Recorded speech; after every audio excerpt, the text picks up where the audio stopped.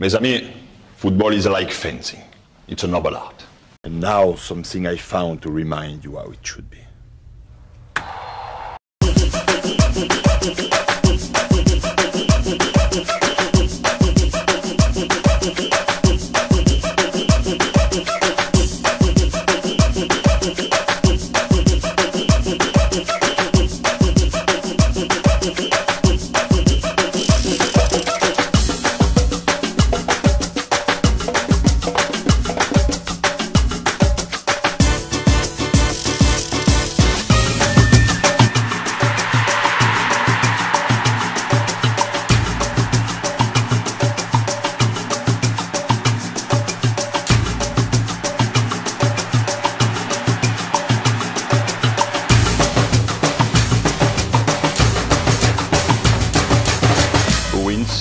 I don't know.